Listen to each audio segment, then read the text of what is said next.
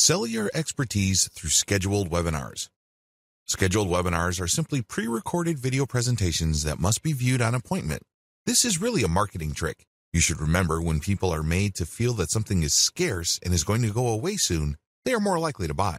When you market your pre-recorded video as a webinar that people have to sign up for, people are more likely to sign up because they think that you have recorded it just for that event. Little do they know that you've recorded it a while back to focus on one topic. People from all over the world can actually set an appointment to view it at different times.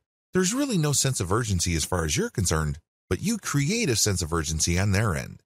A distinguishing feature of scheduled webinars compared to live seminars is that there is absolutely no question and answer section. After all, you're not in front of a live audience. Advantages. As I've mentioned above, this is really a promotional trick. You build up hype for the launch of the webinar. This increases its perceived value. Once you have achieved this, you get a sneaky way to collect email addresses. When people show up to sign up for the seminar, you can offer part of it for free. To get that benefit, they have to sign up to your email list. You then send an update letting them know that the seminar is on. They see the initial video, they like it, and they sign up for more seminars. This time, they have to pay. The hype period where you are involved in the launch enhances your author appeal.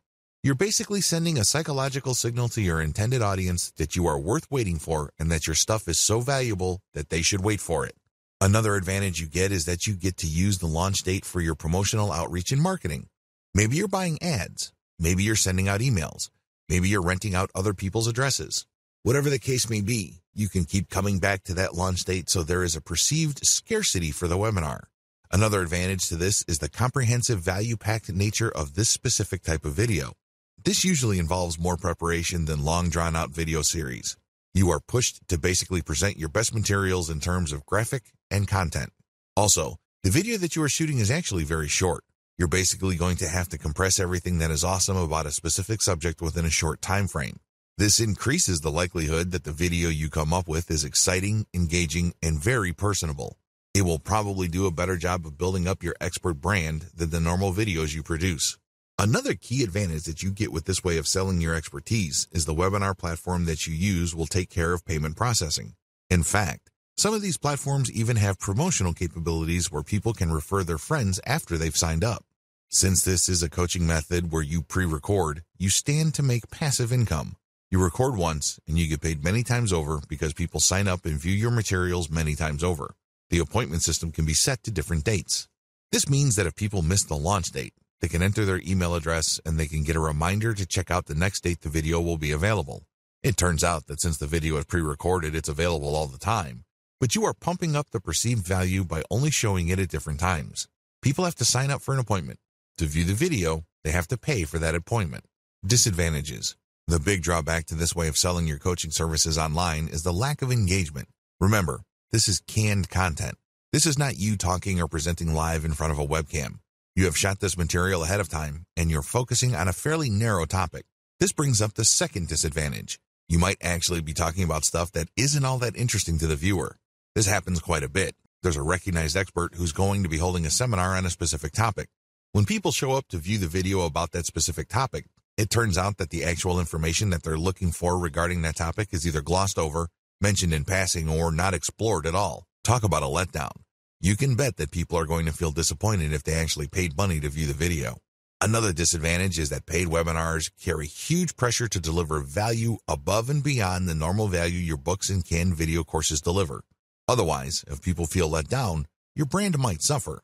You might actually lose followers because they'd think that you ripped people off or you overpromised and underdelivered. Please understand that since this is not live, you can't engage the call and response effect.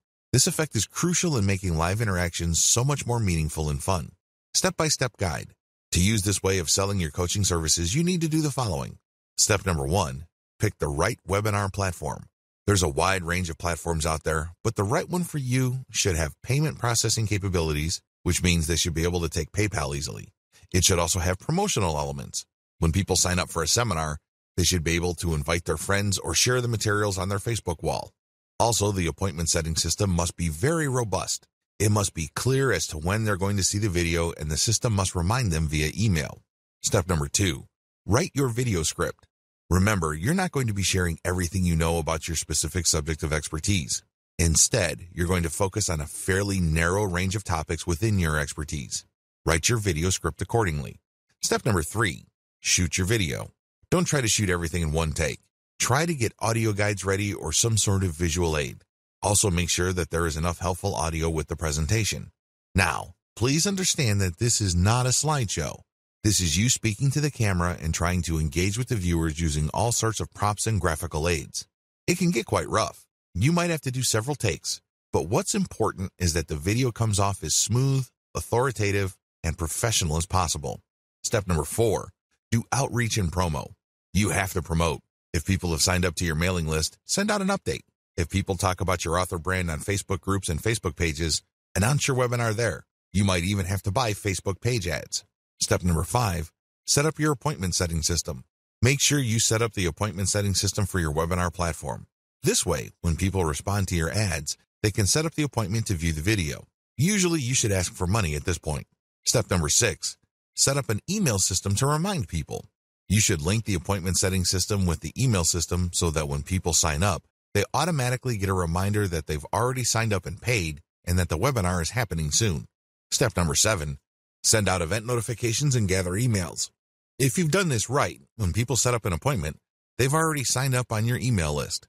However, if these are somehow disconnected, you can still get people to sign up to your mailing list. Of course, when people show up, they can then watch the video. Now, how exactly can you make money off your mailing list? Well, once you have people on your list, you can notify them of another seminar you're having.